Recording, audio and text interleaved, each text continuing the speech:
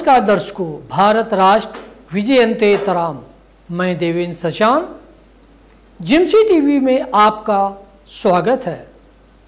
वेद का परिचय के दूसरे भाग में हमने अनादिकाल से चली आ रही वैदिक ज्ञान परंपरा पर बताया था। आज हम बताएँगे वेद का अर्थ और मुख्य वेद कितने हैं। वेद का अर्थ है ज्ञान। वेद शब्द विद सत्तायाम विद ज्ञाने, विद विचारणे एवं विद लाभे इन चार धातुओं से उत्पन्न होता है।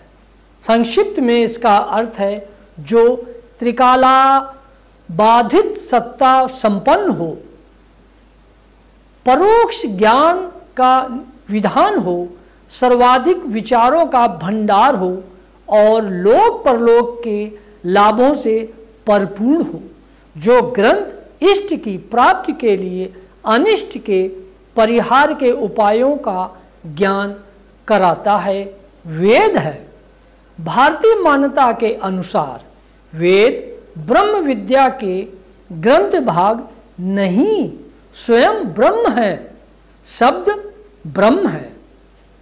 Veda means knowledge The word Veda is derived from these four धातुज विद सत्यम विद ज्ञाने विद विचारणे एंड विद लाभे in short in means one who is full of three times bound existence is the storehouse of indirect knowledge is the storehouse of the most thoughts and is full of the benefits of the world. The, the scripture which gives knowledge about the ways of attainment of favor and the means of avoidance of evil is the Vedas. According to the ancient Sanatan Indian Veni Indian belief, the Vedas are not the scripture part of theology but Brahma itself. The word is Brahma.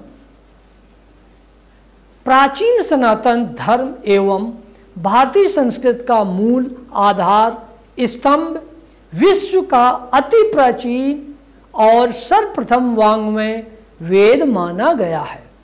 मानव जाति के लौकिक, सांसारिक तथा परमार्थिक अभ्युदय हेतु प्राकट्य होने से वेद को अनादि एवं नित्य अपौरुषे अर्थात देवकृत कहा गया है। अति प्राचीन काल महातपा पुण्य पुण्य ऋषियों के पवित्रतम अंतकरण में वेद के दर्शन हुए थे। अतः उसका वेद नाम प्राप्त हुआ। इसीलिए वेद अलौकिक, इसीलिए वेद लौकिक एवं अलौकिक ज्ञान का साधन है। तेने ब्रह्म हृदय। या आदि कवे, तात्पर्य यह है कि कल्प के प्रारंभ में आदि कवि ब्रह्मा के हृदय में वेद का प्राकाट्य हुआ। अतः फलस्वरूप, एक ही वेद का स्वरूप ही मंत्र ब्राह्मण आरण्यक उपनिषद के रूप में चार ही माना गया है। इतिहास, पुराण आदि महान ग्रंथ वेदों का व्याख्यान के स्वरूप में रचे गए हैं। प्राचीन काल और मध्य युग में शास्त्रार्थ इसी व्याख्या और अर्थांतर के कारण हुए हैं। वर्तमान वर्तमान काल में वेद चार माने जाते हैं। आज चतुर्वेद के रूप में ज्ञात इन ग्रंथों का विवरण एवं उनके नाम इस प्रकार हैं। ऋग्वेद, जिसे ऋग्वेद अखंड, निशब्द गति, यानी मोनोलिथिक साइलेंट एक्शन सबसे प्राचीन तथा प्रथम वेद माना जाता है। ऋग्वेद सबसे प्राचीन तथा प्रथम वेद, यानी पहला वेद माना जाता है। ऋग्वेद सृष्टि का संविधान है और संपूर्ण वैदिक वांग्मय की श्रृंखला में ये प्रथम है। The Rigveda is the constitution of the universe and is the first is the series of entire Vedic text. यानी ये दुनिया के सर्वप्रथम ग्रंथों में से एक है। इसमें होत, इसमें होत वर्ग के लिए उपयोगी मंत्रों का संकलन है। इसमें ऋक संज्ञक, इन दिस ऋक कॉग्नाइजेंट